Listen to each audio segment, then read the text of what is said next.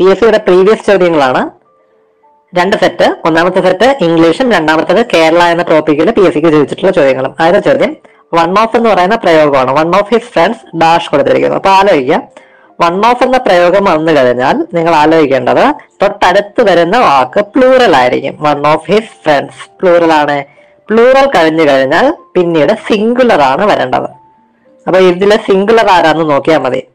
വേറെ ആറ് have plural ആണ്. സിംഗുലർ ആരാണ്? ഹാസ് ആണ് വരുന്നത്. അപ്പൊ ഈ പ്രയോഗത്തിന്റെ രീതി അങ്ങ് കാണാതെ പഠിച്ചാൽ മതി. വൺ ഓഫ് കഴിഞ്ഞാൽ അടുത്ത വരുന്നത് ആരായിരിക്കും? പ്ലൂറൽ ആയിരിക്കും. തുടർന്ന് വരുന്ന വെർബ് സിംഗുലർ ആയിരിക്കും. പ്ലൂറൽ പ്ലസ് സിംഗുലർ എന്നുള്ള രീതിയിലായിരിക്കും വരുന്നത്. ഓക്കെ അടുത്തത് ക്വസ്റ്റ്യൻ ടാഗ് ആണ്. ക്വസ്റ്റ്യൻ ടാഗിന് നമ്മൾ മൂന്ന് റൂളുകളാണ് പറഞ്ഞേക്കുന്നത്. ഉത്തരത്തിലേക്ക് എത്താനുള്ള എളുപ്പ വഴികൾ ഒന്നാമത്തേത് ആദ്യം കിടക്കുന്നയാളെ എടുത്ത് അവസാനം എഴുതുക. ഷീ ഇപ്പൊ അവസാനം എഴുതുക അപ്പൊ ഇവിടെയും ഇവിടെയും ഇവിടെയും ഷീ ഉണ്ട് ഇവിടെ ഇല്ല. അപ്പൊ ഇതിനെ ഒഴിവാക്കാം.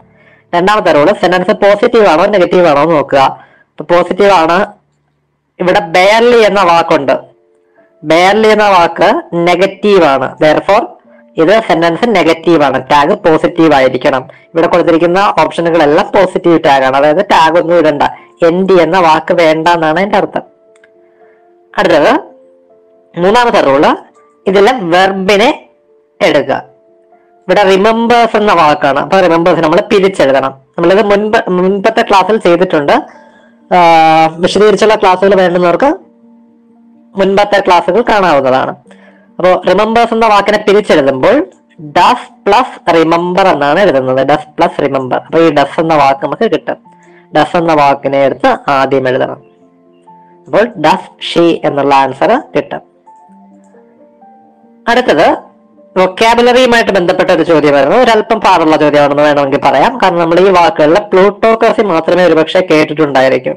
പ്ലൂറലിസം നമ്മൾ ഉദ്ദേശിക്കുന്ന മീനിങ്ങും അല്ല. നമുക്ക് പ്ലൂറൽ എന്ന വാക്ക് കേട്ടിട്ടുണ്ട് പക്ഷെ പ്ലൂറലിസം അതുമല്ല ഇവിടെ നോക്കാം. The use of more words than necessary ആവശ്യത്തിൽ കൂടുതൽ വാക്കുകൾ ഉപയോഗിക്കുന്നു. അങ്ങനെ എന്തെന്നാണ് പറയുന്നത്? ആൻസർ പ്ലിയോനസം എന്റെ ഉച്ചാരണം എന്താണെന്ന് അറിയില്ല എങ്കിലും ഈ വാക്കാണ് ഏതായിട്ട് വരുന്നത്? ആൻസർ ആയിട്ട് വരുന്നത്.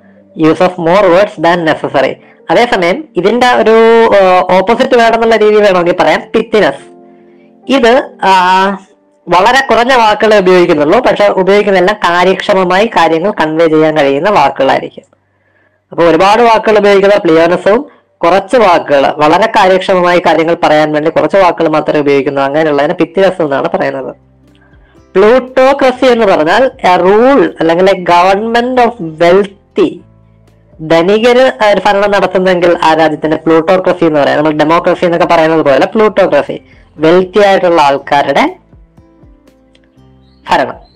പ്ലൂറലിസം ആണെങ്കിൽ ബഹുത്വം എന്നൊരു കൺസെപ്റ്റ് എടുക്കാം. അതായത് ഇന്ത്യ ബഹുസ്വരത എന്നൊക്കെ പറയുന്ന പോലെ വ്യത്യസ്ത വിഭാഗക്കാരുണ്ട് എല്ലാവരും സന്തോഷത്തോടെ ഒരുമിച്ച് സമാധാനത്തോടെ കഴിഞ്ഞു പോകുന്നു. ആ ഒരു കൺസെപ്റ്റ് പ്ലൂറലിസം. അടുത്തത് സെന്റൻസ് കറക്റ്റ് ചെയ്യാനാണ്. ആർ യു ലൈക്കിംഗ് ഫിഷ് ഇങ്ങനെ ചോദിക്കില്ല ഇത് തെറ്റാണ്. ഓപ്ഷൻ ചെയ്ത് നോക്കിയാൽ നമുക്ക് മനസ്സിലാവും. ഡു യു ലൈക്ക് ഫിഷ് ഇതാണ് ശരിയായിട്ടുള്ള answer do you like fish അടുത്തത്.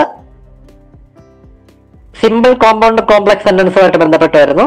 He was bleeding yet he crawled out of the building answer compound sentence ആണ്. ഓപ്ഷൻ എ നമുക്ക് എല്ലാവർക്കും ഒഴിവാക്കാൻ കഴിയും. ഇമ്പറേറ്റീവ് സെന്റൻസ് എന്നാണ് കൊടുത്തേക്കുന്നത്. ഇമ്പറേറ്റീവ് സെന്റൻസ് എന്ന് പറയുന്നത് നമ്മുടെ സെന്റൻസ് ടൈപ്പ് നാലെണ്ണമാണ് ഇംഗ്ലീഷിലുള്ളത്. അസേർട്ടീവ് അല്ലെങ്കിൽ ഡിക്ലറേറ്റീവ് ഇമ്പറേറ്റീവ് രണ്ടാമത്തത് മൂന്നാമത്തേത് ഇന്ററോഗേറ്റീവ് നാല് എക്സ്ക്ലമേറ്ററി നാലാമത്തെ സംശയമല്ല എക്സ്ക്ലമേറ്ററി എക്സ്ക്ലമേഷൻ മാർക്ക് വരും. ഇന്ററോഗേറ്റീവ് ക്വസ്റ്റ്യൻ മാർക്ക് വരും. ഇന്ററോഗേഷൻ ഇന്ററോഗേഷൻ സീൻ എന്നൊക്കെ കേട്ടിട്ടില്ലേ? ചോദ്യം ചോദിപ്പം അന്വേഷണം ആ സംഭവം.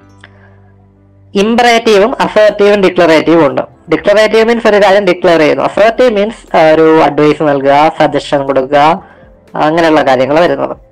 അപ്പോൾ ഇതെന്തായാലും ഇമ്പറേറ്റീവ് സെന്റൻസ് അല്ല എന്ന് മനസ്സിലാക്കുക. അപ്പോൾ ഓപ്ഷനിൽ മൂന്ന് ഓപ്ഷനുകളാണ് വരുന്നത്. അതിൽ നിന്ന് കോമ്പൗണ്ട് സെന്റൻസ് എന്നുള്ള ഉത്തരമാണ് വരുന്നത്. ഇനി കേരളയുമായി ബന്ധപ്പെട്ട് പി എസ് സിക്ക് ചോദിച്ചിട്ടുള്ള ചോദ്യങ്ങൾ. ഒന്ന് which river of Kerala is referred Churni. Churni എന്ന പേരിൽ അറിയപ്പെട്ട നദി ഏത്? അർത്ഥശാസ്ത്രത്തിൽ രണ്ട് നദികളെ കുറിച്ചാണ് കേരളത്തിൽ പറഞ്ഞ പറഞ്ഞിട്ടുള്ളത്. അതായത് കേരളത്തിലെ രണ്ട് നദികളെ കുറിച്ചാണ് അർത്ഥശാസ്ത്രത്തിൽ പറഞ്ഞിട്ടുള്ളത്. ഒരെണ്ണം പെരിയാറും രണ്ടാമത്തത് പമ്പയുമാണ്. പമ്പയുടെ പേര് ബാരിസ് എന്നാണ്. ബാരിസ്. പൂർണ എന്നുള്ളത് ചൂർണി എന്നുള്ളതും പെരിയാറാണ്. പെരിയാർ. പെരിയാർ. അതുപോലെ ചൂർണി എറ ഉണ്ടെന്നുള്ള ഒന്ന് ആലോചിച്ചാൽ മതി. പൂർണ അതിൽ പായുണ്ട് എറുണ്ട് പൂർണ പെരിയാർ. ചൂർണി പെരിയാർ. പമ്പ. പമ്പയാണെങ്കിൽ ബാരിസ് ആണ് ഓക്കെ. അടുത്തത്. ഇന്ത്യയിലേക്ക് വന്ന ആദ്യത്തെ കപ്പൽ. അത് അദ്ദേഹം വന്ന കപ്പൽ. സാൻ ഗബ്രിയൽ ആണ്. San Gabriel. Next question name of the group of poets adorned the court of Zamorin സാമൂതിരിയുടെ കൊട്ടാരം അലങ്ക അലങ്കരിച്ചിരുന്ന കവികളുടെ പേര്. ആ കവികളുടെ കൂട്ടത്തിന്റെ പേര്. പതിനെട്ടര കവികൾ എന്നുള്ളതാണ് ആൻസർ. അതിലാണ് പുന്നം നമ്പൂതിരി വരുന്നത്. Who was the editor of newspaper Mitavadi? Mitavadi news പേപ്പറിന്റെ എഡിറ്റർ ആരായിരുന്നു? സി കൃഷ്ണനാണ് അതിന്റെ എഡിറ്റർ രാമകൃഷ്ണപിള്ള സ്വദേശാഭിമാനിയുടെ എഡിറ്റർ ആയിരുന്നു. Who directed the movie Olavum Theeravum? Olavum Theeravum എന്ന മൂവി ഡയറക്ട് ചെയ്തത് പി എൻ മേനോനാണ് മലയാളത്തിലെ ഏറ്റവും ആദ്യത്തെ സിനിമ ഒന്നാമത്തെ സിനിമ വിഗതകുമാരൻ ആയിരത്തി തൊള്ളായിരത്തി ഇരുപത്തി എട്ട് ഒന്ന് ആലോചിച്ച് വെക്കുക പ്രസിഡന്റിന്റെ സ്വർണ മെഡൽ കിട്ടിയത് ചെമ്മീനുമാണ് ചെമ്മീൻ. ആയിരത്തി തൊള്ളായിരത്തി അറുപത്തി അഞ്ച്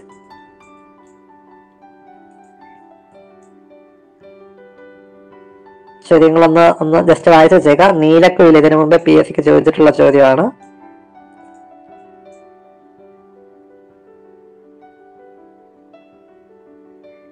അപ്പോൾ നമുക്ക് നമുക്ക് ഇതിന്റെ ബാക്കി ഒരു സെറ്റുമായിട്ട് നമുക്ക് നാളെ കാണാം.